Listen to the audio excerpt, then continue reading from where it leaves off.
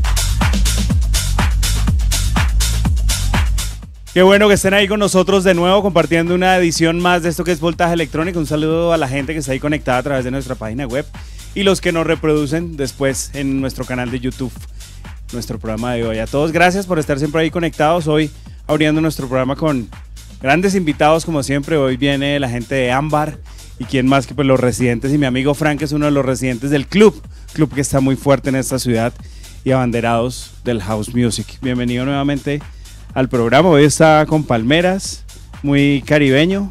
Por lo que ando con Albert para arriba y para abajo, como él es costeño, entonces me toca ponerme la ropa de él.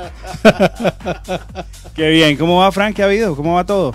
Charlie, pues bien, trabajando, dándole la música como siempre al club, eh, dándole fuerte, fuerte con los eventos que tenemos una temporadita ahí como descansando por el tema de las elecciones, el mundial, las vacaciones. Eso es mortal, ¿no? Es mortal, pero este mes arrancamos fuertísimo. eh, eh, mañana tenemos a, a- a Natalia París. Sí. Eh, de mañana en 8 tenemos a Antoine Clamarán para la fiesta de independencia. Y el 2 de septiembre tenemos a Roger Sánchez. Roger Sánchez es un domingo sin festivo para que tengan la oportunidad los DJs de ir a verlo. Siempre están trabajando, entonces nunca lo han podido ver muchos. Entonces es una oportunidad para poderlo ver.